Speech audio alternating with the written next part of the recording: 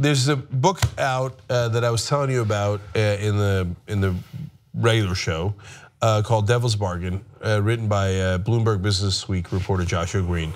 Uh, it talks about Steve Bannon, Donald Trump, the campaign, and in one part of the campaign, there's this idea that Paul Ryan was going to do a coup at the at the convention. So I remember covering this. Right, it wasn't that it was orchestrated by Ryan; it was orchestrated by the powers that be, and they love Paul Ryan, and they were going to put him in instead of Trump. Now, uh, if you guys remember me talking about it back then, uh, I always thought this is the stupidest thing I've ever heard. That's never going to happen. Kasich could have happened. Mm, the, they always talk about like, oh, what could happen at a convention? Look, that's from 1968, dude, and 1948. Right now, not a fucking thing can happen at a convention. So it's all just marketing. There's no all that stuff that used to happen at a convention can't happen anymore. It's not in the bylaws anymore.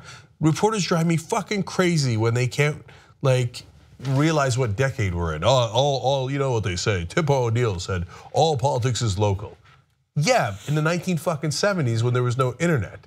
Okay, wakey wakey. Anyway, so, but apparently Bannon was legitimately concerned about it and then super pissed about it.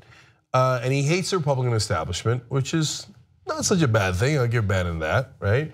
And he's right. Uh, the establishment loves Paul Ryan, and he's their water boy.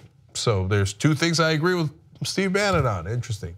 Anyway, he called Paul Ryan a limp dick motherfucker who was born in a petri dish at the Heritage Foundation. Ah, it's so good. okay, that was pretty good. I had it is so good. It's definitely the best thing Steve Bannon's ever said.